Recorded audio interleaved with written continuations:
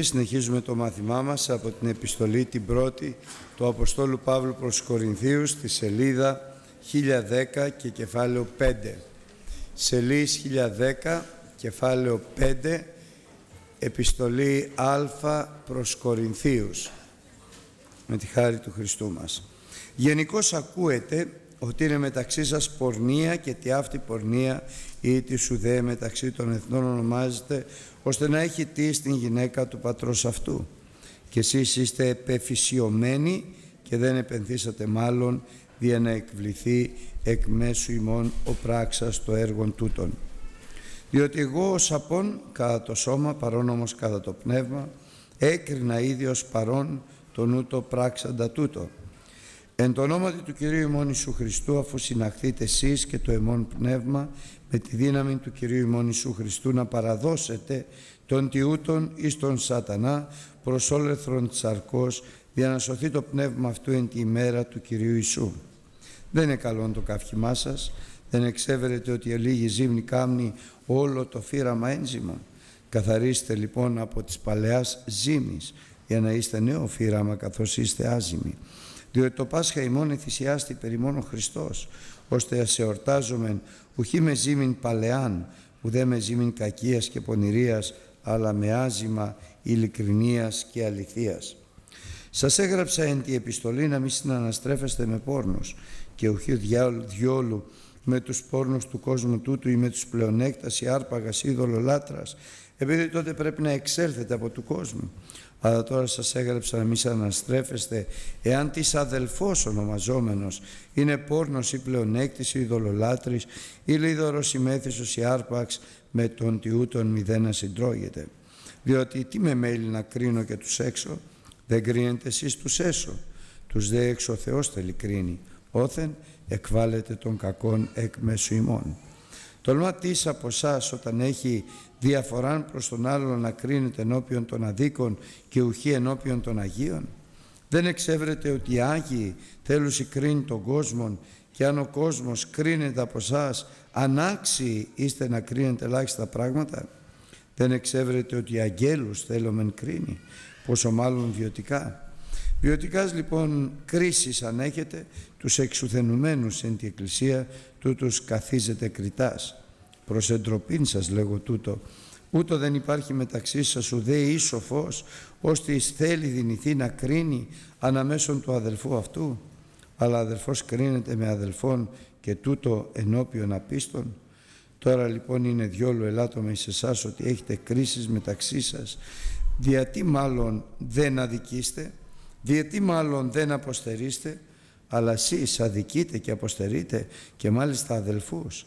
Ή δεν εξέβρετε ότι οι άδικοι δεν θέλουν συγκληρονομή στη Βασιλεία του Θεού; Μην πλανάστε ούτε πόρνη, ούτε δολολάτρο, ούτε μοιχή, ούτε μαλακή, ούτε αρσενοκίτε, ούτε κλέπτε, ούτε πλεονέκτε, ούτε μέθηση, ούτε λίδωροι, ούτε άρπαγες δεν θέλουν συγκληρονομή στη Βασιλεία του Θεού. Και ότι ούτε υπήρχετε τινές, αλλά απελούστητε, αλλά αγιάστετε, αλλά εδικαιώθητε δια το ονόματος του Κυρίου Ιησού και δια του Πνεύματος του Θεού ημών. Αμήν. Αλληλούια. Ο Λόγος του Θεού είναι δίστομος μάχερα. Είναι και ζωντανός, είναι και ενεργός, ενεργεί στη ζωή μας, αλλά με το Θεό και με το Λόγο Του δεν μπορούμε να παίξουμε. Ο Θεός δεν εμπέζεται. Ό,τι σπέρνουμε, αυτό θερίζουμε. Αν σπείρουμε στη ζωή μας και σπέρνουμε στη ζωή μας στη σάρκα, θα θερήσουμε φθορά.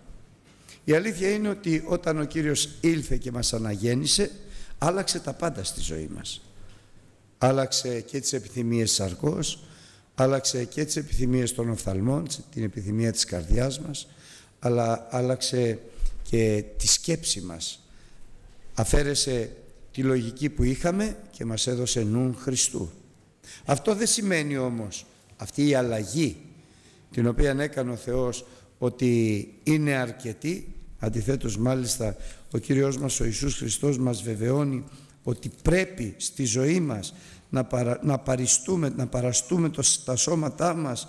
Θυσία ζώσα, αγία θυσία ζώσα, αγία ευάρεστο στο Θεό η οποία είναι και η λογική μας λατρεία και να μεταμορφωνόμαστε δια της ανακαινήσεως του νόος μας ώστε να δοκιμάζουμε τι είναι το θέλημα του Θεού, το αγαθόν, το ευάρεστον και το τέλειον. Εκείνο λοιπόν το οποίο θέλει ο Θεός είναι μια συνεχόμενη μεταμόρφωση προς αγιασμό, προς το αγαθόν. Δηλαδή ο χριστιανός περπατάει από το καλό θα λέγαμε στο καλύτερο. Ό,τι και αν είναι πρέπει αύριο να είναι καλύτερος. Βέβαια εμπόδιος σε αυτό σοβαρό είναι η σάρκα μας η οποία ζητάει τα δικά της. Και θα βρεθούμε πάρα πολλές φορές μέσα σε τέτοιες καταστάσεις και ιδίως οι νέοι αλλά και όλοι μας όπου άλλα θα λέει ο Λόγος του Θεού και άλλα εμείς θα βλέπουμε στους αδελφούς μας αλλά και στον εαυτό μας. Δεν, η Εκκλησία του Χριστού δεν αποτελείται από αγγέλους. Όταν ιδίως το καλοκαίρι πηγαίνεις διακοπές, εκεί θα δουν τα μάτια σου παράξενα πράγματα. Αλλά και όχι στις διακοπές. Θα βλέπουν τα μάτια μας παράξενα πράγματα. Πράγματα τα οποία δεν τα έχουμε διδαχθεί, δεν τα έχουμε ζήσει, Αντιθέτως έχουμε διδαχθεί και έχουμε ζήσει άλλα πράγματα. Εκεί αδερφοί θα πρέπει να μένουμε στερεοί και αμετακίνητοι. Δεν είναι απλό. Δεν είναι καθόλου απλό μάλιστα.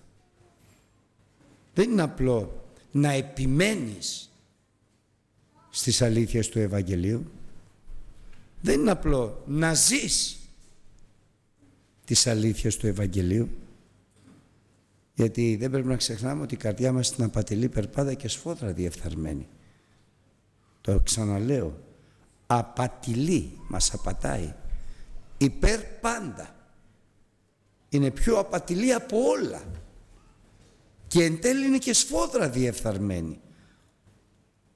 Την έχει αλλάξει βεβαίως ο Χριστός, αλλά πολλές φορές, πολύ συχνά και ανάλογα με τον αγώνα τον οποίο κάνουμε ζητάει τα δικά της. Άρα λοιπόν δεν είναι μόνο το ζήτημα πώς ζούμε που είναι πολύ σημαντικό αλλά είναι και τι επιθυμούμε και τι κρίνουμε αλλά και πώς στεκόμαστε σε αυτά που βλέπουμε. Μια εκκλησία λοιπόν σαν την εκκλησία των Κορυφαίων είναι αγία, ευλογημένη. Μάλιστα δεν πρέπει να ξεχνάμε ότι ο Απόστολος Παύλος συστήνοντας την Εκκλησία των Κορινθίων λέγει ότι κατά πάντα επλουτίστητε δια του Ιησού Χριστού εις λόγων, εις γνώσιν και κανένα χάρισμα Πνεύματος Αγίου δεν μένει πίσω σε εσάς. Εκκλησία θα λέγαμε απολύτως πνευματική καθώς το Πνεύμα του Θεού το Άγιο εργάζεται ανάμεσά της. Και όμως μέσα σε αυτή την εκκλησία υπάρχει πορνεία. Πορνεία μάλιστα λέει ο Απόστολος Παύλος που δεν υπάρχει ούτε στον κόσμο. Όπου κάποιος πορνεύει με την γυναίκα του πατέρα του. Αυτή είναι μοιχευωμένη και πορνεύει, αυτός μόνο πορνεύει. Αλλά ο Κύριος μας ο Ιησούς Χριστός λέει και κάτι για να μην σκεφτόμαστε μόνο αυτούς ότι και πάσο βλέπουν γυναίκα δια να επιθυμήσει αυτήν ήδη εμίχευσε αυτήν εν την καρδία αυτού. Είμαστε σε έναν κόσμο γεμάτο προκλήσεις και ο διάβολος αγωνίζεται να γκρεμίσει τα παιδιά του Θεού. Το ερώτημα είναι εμείς πώς το αντιμετωπίζουμε; Εδώ είναι το κρίσιμο σημείο τώρα. Πώς αντιμετωπίζουμε κάτι που συμβαίνει σε μας ή πώς αντιμετωπίζουμε κάτι που βλέπουμε και διαπιστώνουμε ότι συμβαίνει σε άλλον. Ναι. Πώς το αντιμετωπίζουμε; Μου τηλεφώνησε ένας αδελφός Και μου λέει πήγα σε μια εκκλησία στην επαρχία και τα παιδιά του πιμένα γυρίζανε τα κορίτσια του πιμένα με σόρτς.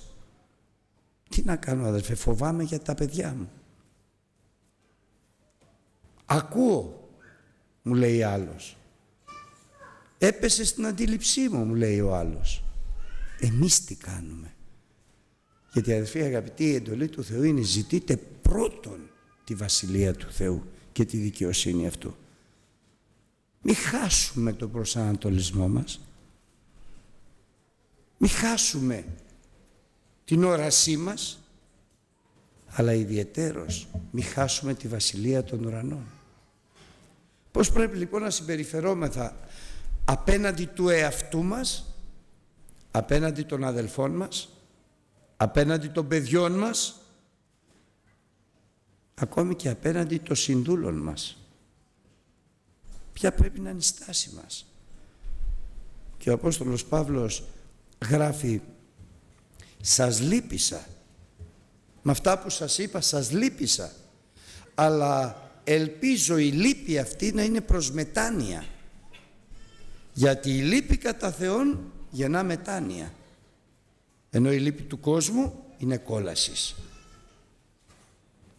Και θέλει να τους λυπήσει. Γι' αυτό και τους λέω όλη την αλήθεια. Δεν διστάζει. Καθόλου μάλιστα δεν διστάζει. Εσείς γνωρίζοντας αυτό που συμβαίνει που κάποιος μέσα στην εκκλησία πορνεύει με, τη μητέρα, με την γυναίκα του πατέρα του εσείς μένεστε ευχαριστημένοι και καφιέστε κιόλας για τον εαυτό σας και για την εκκλησία. Πολύ ωραία, πάρα πολύ ωραία είμαστε. Αντί να λυπηθείτε βαθιά για αυτό που συμβαίνει. Γιατί αν αφήσετε λίγη ζύμη στο αλεύρι, όλο θα φουσκώσει. Λίγη τόση ζύμη να αφήσει στο αλεύρι, όλο θα φουσκώσει. Εκείνο λοιπόν πρέπει να κάνεις είναι να αφαιρέσεις το προζύμι. Να το αφαιρέσεις για να μην φουσκώσει. Γιατί λίγη ζύμη κάνει όλο το φύραμα ένζημα.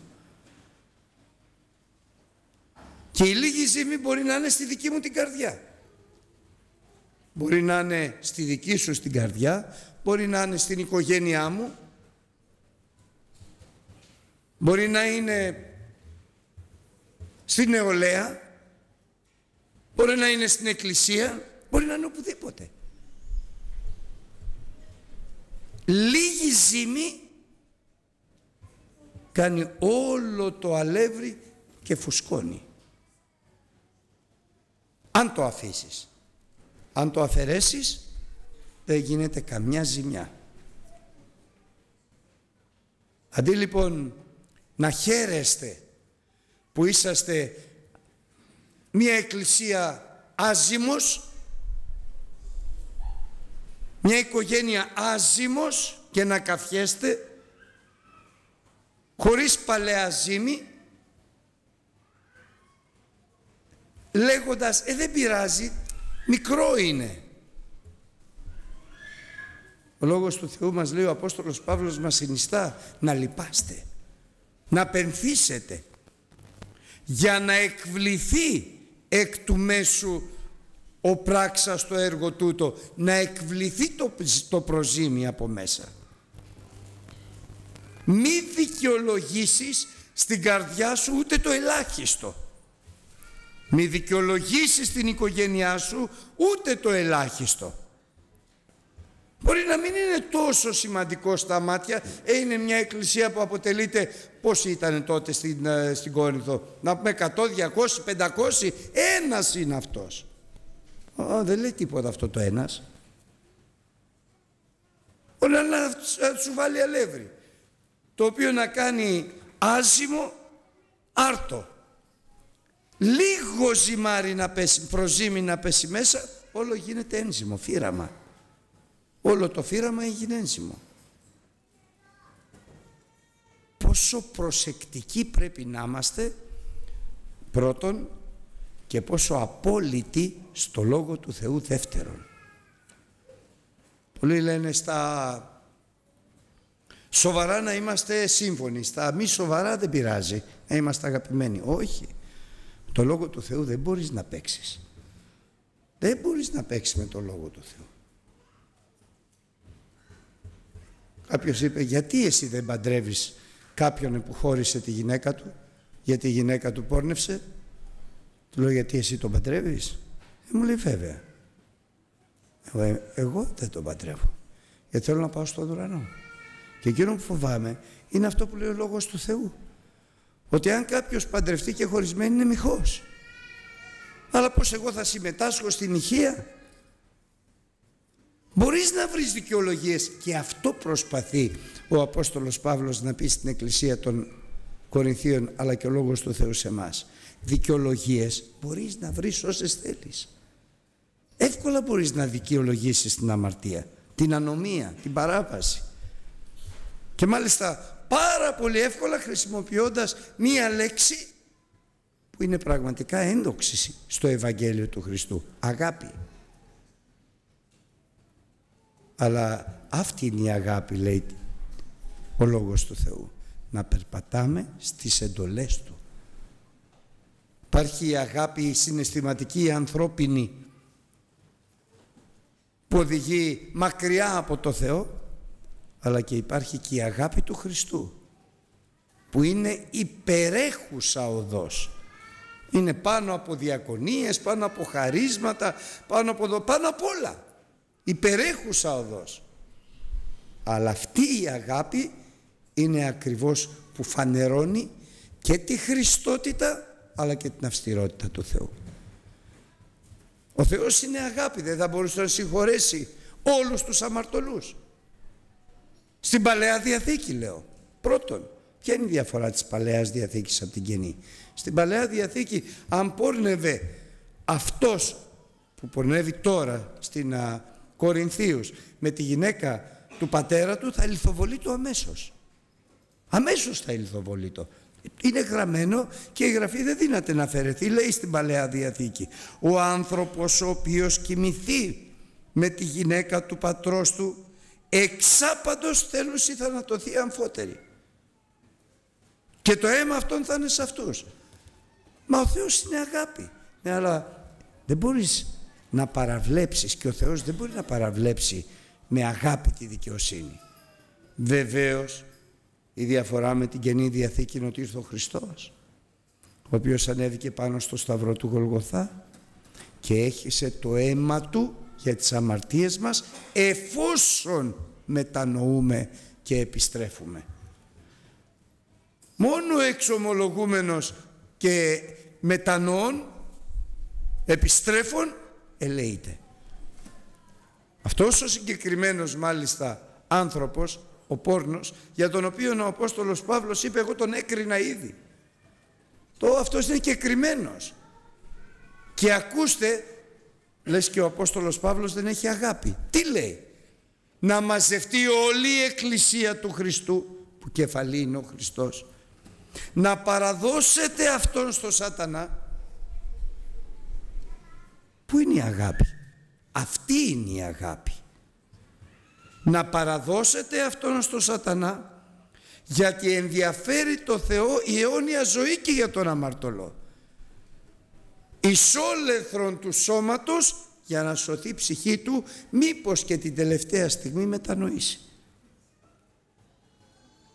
Και οι Κορίνθιοι το έπραξαν. Στη δεύτερη επιστολή του Απόστολος Παύλος προς Κορινθίους λέγει αρκετόν ήταν η επίπληξης εκ των πλειοτέρων. Περισσότεροι επίστησαν στα λόγια του Απόστολου Παύλου. Τον επέπληξαν και πριν να χρειαστεί να τον παραδώσουν στο σατανά ολόκληρη η Εκκλησία μετανόησε. Εγκατέλειψε την πορνεία του, την αμαρτία του και ο Παύλος λέει τώρα εγώ τον συγχωρώ γιατί ο Θεός το συγχώρεσε. Αυτή είναι η αγάπη. Αυτό είναι το θέλημα του Θεού. Τώρα παρηγορήστε Τον, ενισχύστε Τον. Τώρα ανοίξτε Του την αγκαλιά σας. Δεχτείτε Τον κοντά σας. Μην καταποθεί υπό τις υπερβαλούσεις λύπης. Και δεν πρέπει να αγνοούμε και τα διανοήματα του σατανά. Ο διάβολος τον πλάνησε και τον έφερε στην πορνεία. Ε, εσείς κοιμηθήκατε και αφήνατε την πορνεία μέσα με μεγάλο κίνδυνο για ολόκληρη την Εκκλησία και για αυτόν που αμαρτάνει. Ο Θεός όμως με την αυστηρότητά του έφερε σε μετάνοια τον αμαρτωλό, έφερε σε αγρύπνια, εγρήγορση την Εκκλησία και νίκησε ο Χριστός. Και αυτός μετανόησε και σώθηκε και η Εκκλησία ελευθερώθηκε και ο Χριστός δοξάστηκε. Αυτή είναι η αγάπη του Θεού. Η αγάπη του Θεού που φαίνεται πολλές φορές ότι έχει σκληρότητα. Δεν έχει σκληρότητα, έχει αλήθεια. Έχει αλήθεια. Γι' αυτό συνεχίζει. Δεν είναι καλό το καυχημά σας, δεν είναι καλό να καυχάστε για όλα τα καλά τα οποία έχετε και πράγματι έχετε, έχετε πάρα πολλά καλά. Εργάζεται ο Θεός ανάμεσά σας. Δεν είναι όμως καλό το καυχημά σας όσο υπάρχει παράβασης και ανομία μέσα στην εκκλησία, μέσα στη ζωή σας, μέσα στην οικογένειά σας. Δεν είναι καλό τώρα να καυχάσετε για αυτά που έχετε όταν διαπιστώνετε την ανομία. Αυτό είναι υπερηφάνεια και πλάνη.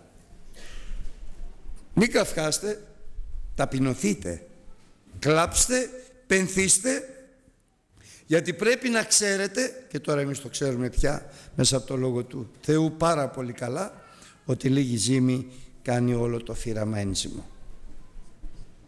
Ξέρετε στην Παλαιά Διαθήκη και γι' αυτό μιλάει έτσι στο Πάσχα γιορτάζανε με άζημα. Το, ο άρτος χωρίς προζήμια θεωρείται καθαρός. Άζυμος καθαρός άρτος. Νερό και αλεύρι κάναν λαγάνα το ψωμί όπου γιορτάζανε τις εορτές του Κυρίου. Αυτό βεβαίως ήταν μια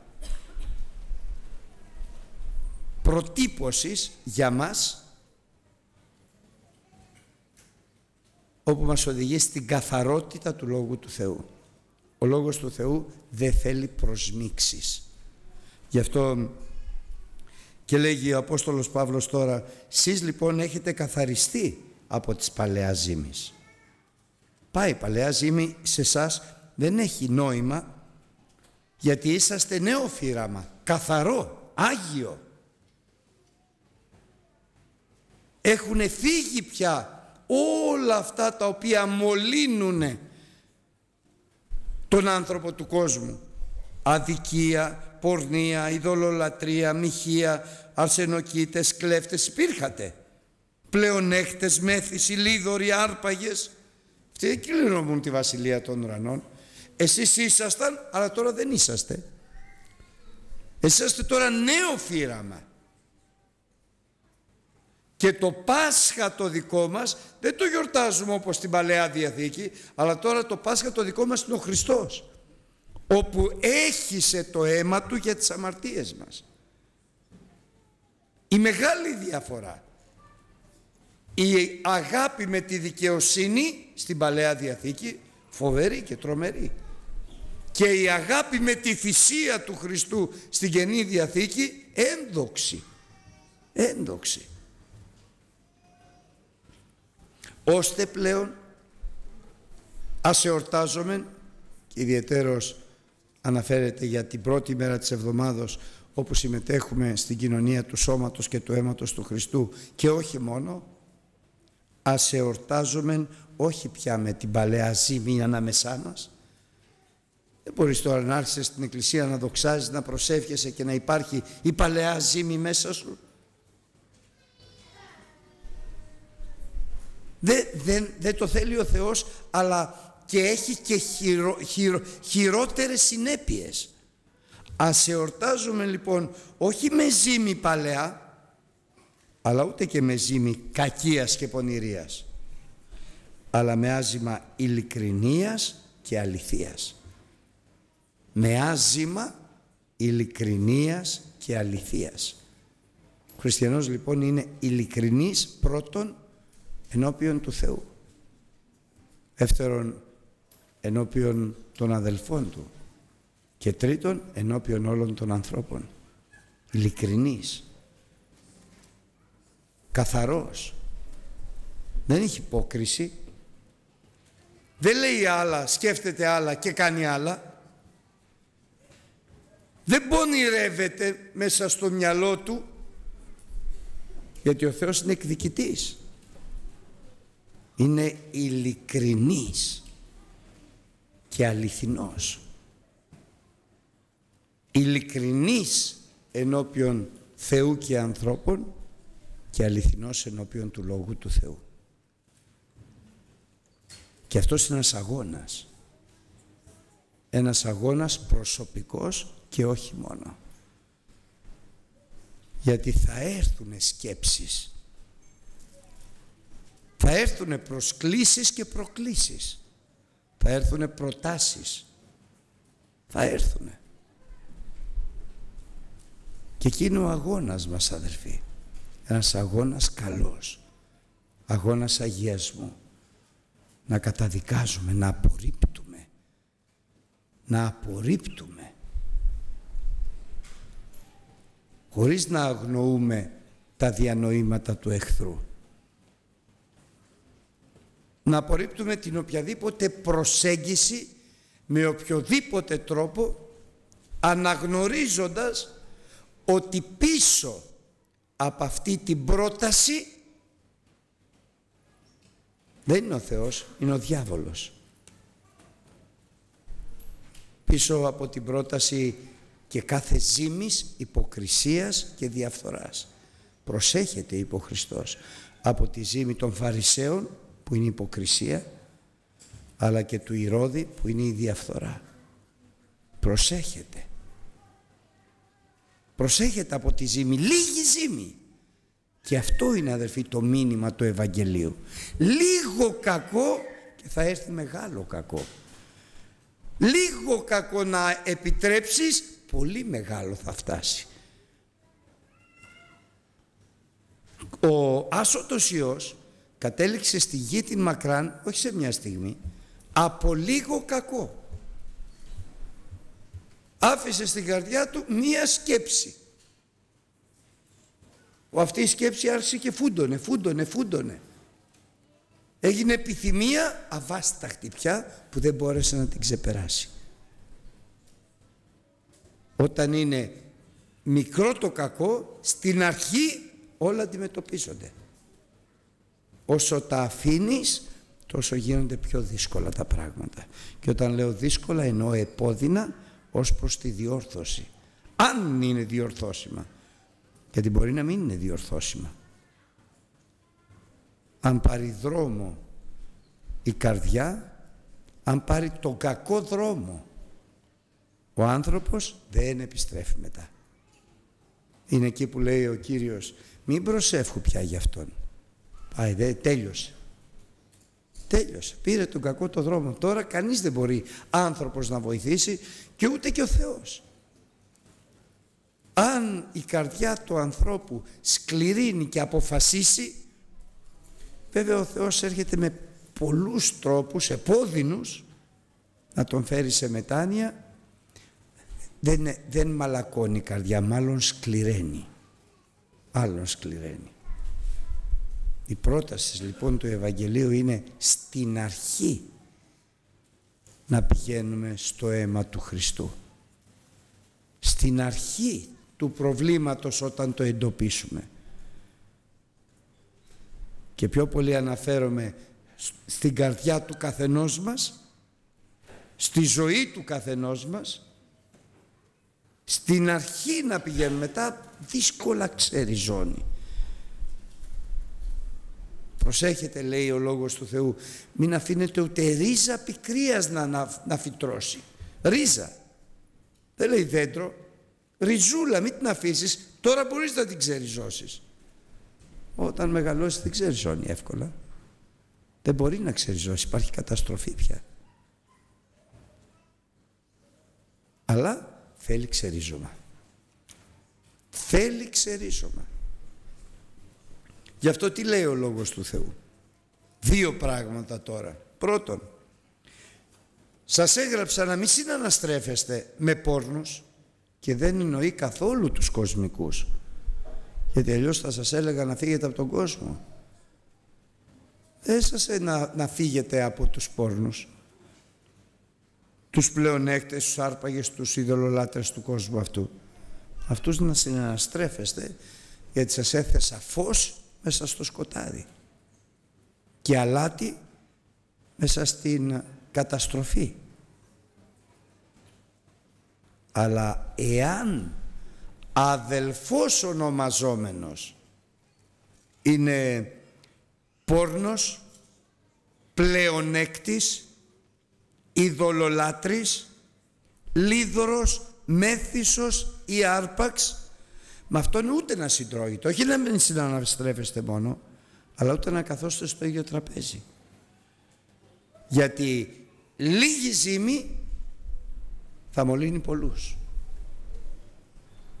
Μην τον βάζετε στο τραπέζι σας. Μην τον φέρνετε στην οικογένειά σας. Είναι πλεονέκτης. Είναι ειδωλολάτρης. Δεν πειράζει να έχω δύο εικόνες στο σπίτι μου. Να φοράω ένα σταυρό. Αναγεννημένος, βαφτισμένος με πνευμάγιο. Τι λες αδερφέ μου; Τι λες; Για να σε φυλάει για να τον φυλάς; Μέθησος. Δεν λέει να μην πίνουμε κρασί, λέει να μην μεθάμε. Αλλά και αν δεν πιες και καθόλου δεν χάνεις. Αλλά μέθησο ούτε να τρως μαζί του. Βλέπεις πίνει το πρώτο, πίνει το δεύτερο, πίνει το τρίτο. Ε, τι το κάναμε εδώ; Τι το κάναμε εδώ; Άρπαξ. Έχει την καρδιά του πώς να αρπάξει. Πώς να πάρει. Αυτή είναι ζήμη που οδηγεί στην κόλαση. Αυτόν να τον βγάζετε έξω. Όπως αν δεν θέλεις το αλεύρι να φουσκώσει και να γίνει ένζυμο και θέλεις να πράξεις άζυμο, βγάζεις το προζύμι, βγάζεις τη μύγα μέσα από το γάλα, έτσι πρέπει να κάνουμε. Επαναλαμβάνω όμως, κάτι που είναι πάρα πολύ σοβαρό πρώτα στην προσωπική μας ζωή.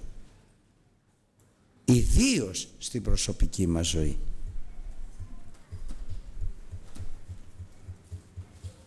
Γιατί αν δεν φροντίζουμε πρώτα τον εαυτό μας, αν δεν βγάλουμε το δοκάρι από το μάτι μας, πώς θα βοηθήσουμε να βγει από τον αδελφό μας το ξυλάριον. Όχι κρίνοντας, αλλά υπακούοντας το Λόγο του Θεού. Ταυτόχρονα εμφανίζει και κάτι άλλο που επίσης είναι πολύ σοβαρό και πρέπει να το προσέχουμε γιατί μας οδηγεί σε συνέχεια κακή. Τολμάται από εσάς όταν έχει διαφορά προς άλλον να κρίνεται ενώπιον των αδίκων και όχι ενώπιον των Αγίων.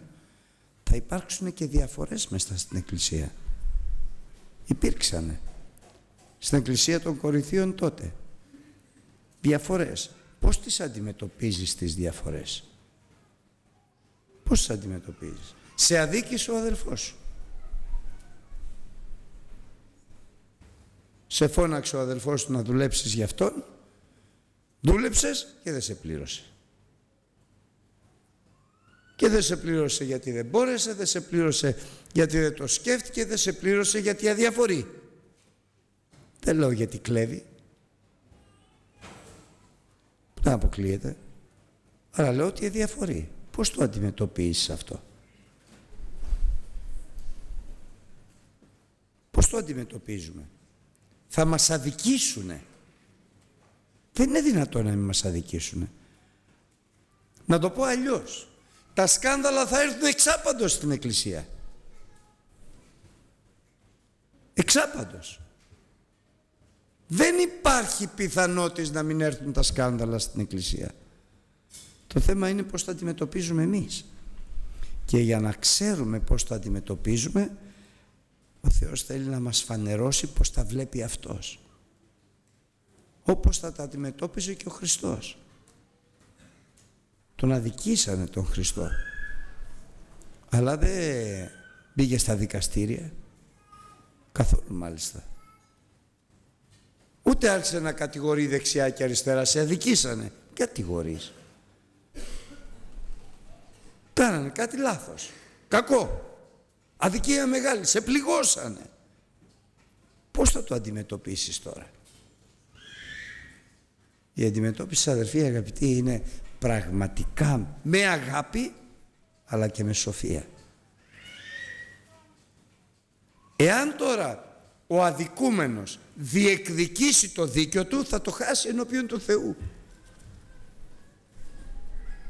Αν όμως ο αδικούμενος υπακούσει στο θέλημα του Θεού και στο Λόγο του Θεού και ο Θεός θα τον δικαιώσει και ο Θεός θα τον ευλογήσει και ο Θεός θα τον συστήσει μέσα στην Εκκλησία. Καλύτερα λοιπόν να αδικήστε και να αποστερήστε παρά να αδικείτε και να αποστερήσετε αδελφούς. Και δεν λέει αδελφούς μόνο, μάλιστα αδελφούς και από τον κόσμο. Πολλοί θα σε αδικήσουν και έξω και μέσα. Εσύ μην ανταποδώσεις την αδικία. Μην κάνεις εκδίκηση στην αδικία. Μην πας να ζητήσεις να του πάρουν το κεφάλι, την τιμωρία του. Αλλά λέει η Γραφή δώσε τόπο στην οργή, κάνε στην άκρη. Πες το, αλλά κρυφά, σε έναν αδελφό σου, σε έναν πρεσβύτερο, στον πειμένα, να αντιμετωπίσετε μαζί την κατάσταση. Μη θεωρήσει κανείς ότι μπήκε μέσα στην εκκλησία και δεν θα δικηθεί. Μην το φανταστεί αυτό. Ότι δεν θα πληγωθεί. Ότι δεν θα τον στενοχωρήσουνε. Ότι δεν θα τον ταπεινώσουνε, δεν θα τον ενοχλήσουνε, δεν θα τον σκανδαλίσουν. Όλα αυτά θα γίνουνε. Δεν είναι εκκλησία αγγέλων. Είναι εκκλησία Αγίων που ξέρουν να υπομένουν, να μακροθυμούν, να συγχωρούν και ιδιαιτέρως να ταπεινώνονται. Αυτή είναι η Εκκλησία. Γιατί; Γιατί περιμένουν την ανταπόδοσή τους από το Θεό περιμένουν τη δικαίωσή τους από το Θεό. Και ο Θεός δεν είναι άδικος να λησμονήσει τον κόπο της αγάπης σας. Υπηρετήσαντες και υπηρετούντες πώς; Υπομένοντες. Υποφέροντες αλλήλους εν αγάπη. Υποφέρεις. Θα υποφέρεις τον ανυπόφορο αδελφό. Μην αγριέψεις. Ιδιαίτερος μη διεκδικήσεις. Ο χριστιανός είναι πρόβατο. Ούτε γαυγίζει ένα σκύλο όταν του πετάξεις πέτρα γαυγίζει. Το πρόβατο αν του πετάξεις πέτρα δεν γαυγίζει. Πηγαίνει κοντά στον πειμένα του. Μπορεί να σου πετάξουν πέτρα. Παραβολικά το λέω. Να σε πληγώσουνε, να σε πονέσουνε. Και ξέρετε αδερφοί αγαπητοί, όταν ο πόνος προέλθει από τον κόσμο δικαιολογείται. Μπορείς να πεις δεν ξέρει ο άνθρωπος όταν όμως ο πόνος προέλθει από αδελφός σου πονάει πολύ. Πονάει πολύ. Το ξέρει ο Χριστός. Γι' αυτό και ανταποδίδει πολύ στο να υπομείνεις, να, να δεχτείς να σε αδικήσουνε, να, να το δεχτείς αυτό. Όταν αδελφοί μου ο Χριστός λέει στους, για τους εχθρούς σας να προσεύχεστε και να τους αγαπάτε. Όταν λέει για αυτούς που σας μισούνε πιο πολύ πιο πολύ να τους αγαπάτε. Όταν λέει ο Χριστός ακόμη περισσότερο για αυτούς που σας καταρώνται που εκδηλώνουν το μίσος τους με κατάρες αυτούς λέει τους ευλογείτε. Και όταν ξεπεράσει κάθε όριο ο άνθρωπος του κόσμου και σε κακοποίηση ο Χριστός λέει να τον αγωθοποιείς. Πόσο μάλλον ο Θεός θέλει από μας όταν μας στενοχωρούν αδέλφια μας. Πόσο περισσότερο. Βέβαια τώρα είναι και η άλλη πλέ, όψη των πραγμάτων. Το θέμα δεν είναι μόνο όταν με στενοχωρούνε με πληγώνουνε με αδικούνε που εκεί αγανακτώ και σφίγγομαι και καλά κάνω και πηγαίνω στον Κύριο. Το θέμα είναι όταν εγώ πληγώνω.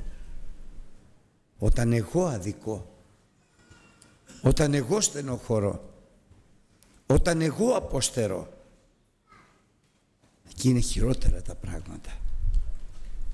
Γιατί όταν με αδικούνε εκείνο που περιμένω εάν δεν ανταποδώσω κακό στο κακό ιδίως αν ανταποδώσω καλό στο κακό εκείνο που περιμένω να με ευλογήσει ο Θεός αλλά αν εγώ ανταποδίδω στο καλό κακό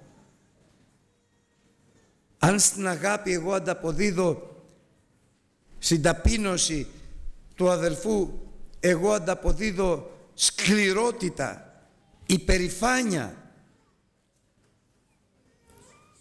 Εγώ τι κάνω; Και εκεί είναι τα πράγματα πιο δύσκολα. Γιατί όταν με δικούνε το καταλαβαίνω. Αλλά όταν αδικό δεν το καταλαβαίνω πολλές φορές. Εκεί αδερφοί αγαπητοί χρειάζεται πιο πολύ προσευχή. Και αν βλέπεις ότι έχει κάτι ο αδελφός σου με σένα, μην το προσπερνάς. Εγώ δεν του έκανα τίποτα. Μπορεί να νομίζεις ότι δεν του έκανες, αλλά δεν ξέρεις τι νομίζει αυτός. Εκείνο που έχει σημασία δεν είναι τι νομίζω εγώ, είναι τι νομίζεις εσύ για μένα.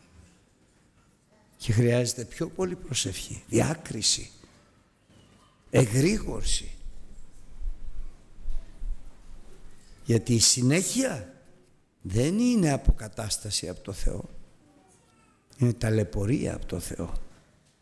Γι' αυτό λέει ο Λόγος του Θεού καλύτερα να σας αδικούνε καλύτερα να σας στενοχωρούνε γιατί το καταλαβαίνετε αγωνίζεστε και ευλογήστε εάν όμως εσείς αδικείτε αποστερείτε μπορεί να μην το καταλάβετε και θα έλθει η επέμβαση του Θεού και θα είναι πόδινη και δεν θα ξέρετε και το γιατί. Πριν λοιπόν συμβούν όλα αυτά. Μην καφιέσαι γιατί όλα πάνε καλά στη ζωή σου. Μην καφιέσαι γιατί ο Θεός έχει δείξει την εύνοιά Του, τη χάρη Του. Καλύτερα είναι να ταπεινωθείς, να ταπεινωθώ, να πλησιάσουμε το Θεό, να βρούμε χάρη γιατί είμαστε άνθρωποι και δεν ξέρουμε. Δεν ξέρουμε στον πνευματικό κόσμο τι μας συμβαίνει. Δεν ξέρουμε τις καρδιές των αδελφών μας τι συμβαίνει. Δεν ξέρουμε. Και πόσο χαίρομαι όταν έρχονται αδελφοί και μου λένε τι έχεις μαζί μου; Λέω τίποτα. Αυτοί έτσι νομίζουν. Τι κάτι έχω. Πήγαινε να τακτοποιηθείς; Και σου πει δεν έχω τίποτα. Μην το αφήνουμε αδελφοί. Μην αφήνουμε σκιές στη σχέση μας με τα αδέλφια μας γιατί δεν ξέρουμε πίσω από αυτές τις σκιές πόσο το έχει μεγαλώσει ο διάβολος το ζήτημα. Ήρθα ένας αδελφός και μου λέει με στενοχώρησες πάρα πολύ. Λέω πότε; Θυμάσαι; Το είχα ξεχάσει. Και αυτός ο άνθρωπος ήταν στενοχωρημένος για μέρες. Και εγώ το είχα ξεχάσει. Αυτό θα πει ύπνος. Κοιμήθηκα. Ευτυχώς που ο αδελφός είναι καλός και ήρθε και μου το είπε. Ευτυχώς. Για σκεφτείτε όμως αδελφοί, εάν η καρδιά του έπιανε, έπιανε, έπιανε, έπιανε, έπιανε και δεν μου λέγει και τίποτα, πώς θα μας έβλεπε ο Θεός; Μένα θα με έβλεπε άδικο και το αδελφό μου πληγωμένο. Αδελφοί, να πραγματικά εξητούμε.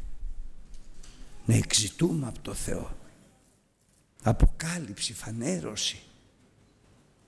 Μην αφήνουμε ρίζες να μεγαλώνουν στις καρδιές ούτε των άλλων ούτε τις δικές μας. Μην αφήνουμε ούτε τόσο δαπροσημάκι.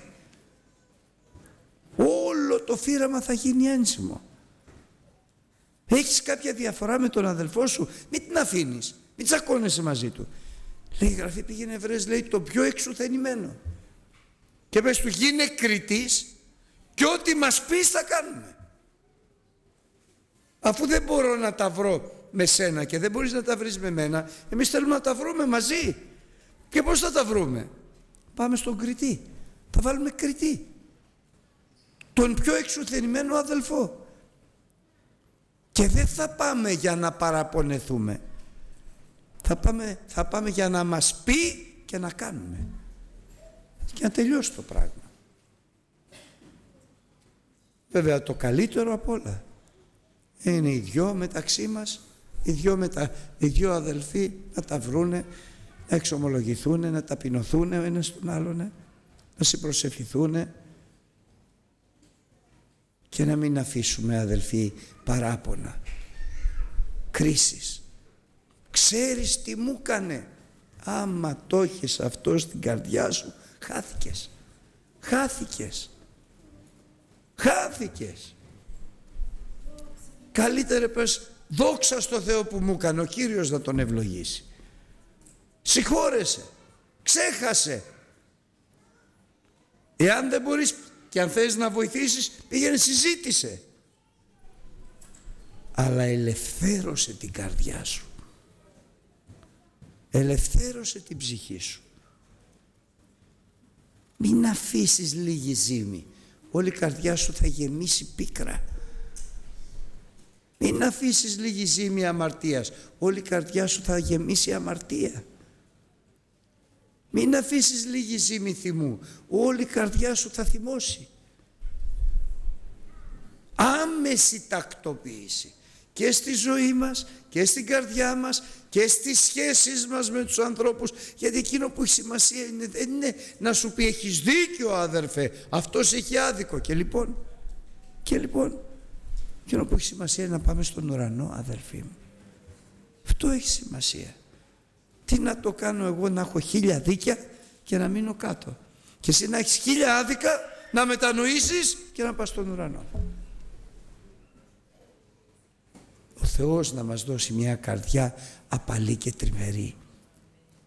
Προσεκτική, άγρυπνη και ιδιαιτέρως προσευχόμενη για να μπορούμε να τα ξεπερνάμε όλα να το επαναλάβω αδελφοί μου σας παρακαλώ. Και σας το λέω από προσωπική πείρα. Να μπορούμε να τα ξεπερνάμε όλα. Χρειάζεται πάντοτε να μπορούμε να τα ξεπερνάμε όλα. Όλα. Στη σχέση μας με τον εαυτό μας με τις αμαρτίες μας. Στη σχέση μας με τους αδελφούς μας με τα λάθη μας και με τα λάθη τους. Στη σχέση μας με τον κόσμο με τους συναδέλφους να μάθουμε τα, τα ξεπερνάμε όλα. Και αυτό δεν γίνεται αδερφοί με κανένα άλλο τρόπο παρά μόνο με τη χάρη του Χριστού. Προσοχή, προσευχή και αγρύπνια και έτοιμοι να συγχωρήσουμε, έτοιμοι για να ελευθερώσουμε την ψυχή μας και να είμαστε έτοιμοι για τη Βασιλεία των Ουρανών. Αμήν αδελφοί. Εκείνο που έχει σημασία είναι να είμαστε έτοιμοι αδελφοί μου. Σε αδίκησα. Συγχώρεσέ με αδελφέ μου. Δεν θέλεις και εσύ όταν αδίκησες να σε συγχωρήσει; Συγχώρεσέ με. Συγχώρεσέ τονε.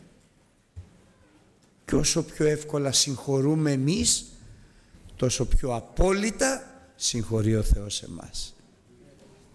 Αμήν.